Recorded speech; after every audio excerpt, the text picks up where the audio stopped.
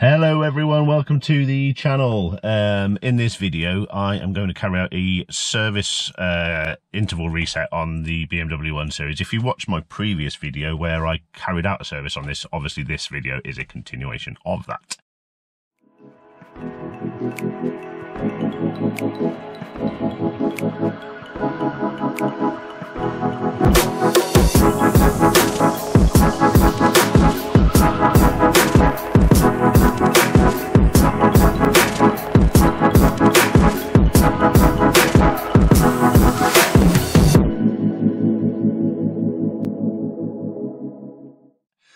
So obviously I've just carried out a service on this car, so I need to reset my um, indicator. As you will see, if I put the key in, press the start stop button, you can see it says service and I'm 480 miles over. Now, obviously I didn't start the engine, so I kept my feet off the pedals. I just pressed the start stop button to turn the ignition on.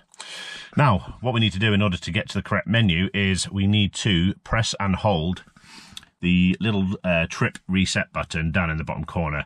Um, the the mileage there will actually set to zero, but it will come back um, if if you're bothered by that. Um, so I'll press and hold it. As you can see, there you go. It's come back to 11. Okay, now we're in the uh, we're in the service reset menu. And as you can see, there's loads of different things in here that we can reset. That's the rear um, rear brakes, front brakes, over, uh, inspection. Um, uh, that's brake fluid, which obviously you can see is due in May. Um, what I want to do is um, I want to do the oil service and I want to do the inspection as well because we've done all the other good stuff. Now you select the right one by pressing the BC and it should come up in the little screen saying reset. Just like that and what we'll do is you hold it, hold the BC button in, let it do its little thing and as you can see now, um, we've got 17,000 miles until it's due a, an oil service, and it's telling us that it wants us to uh, do it in March 2022.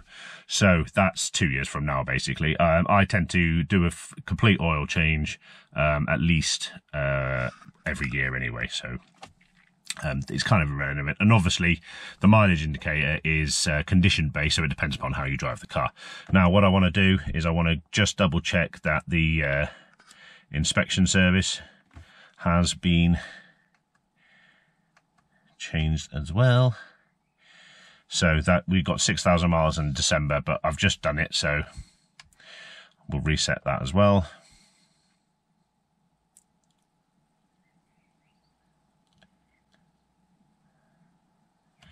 And there we go. We can see now we've got 37,000 miles and that's uh, four years time when that's now due.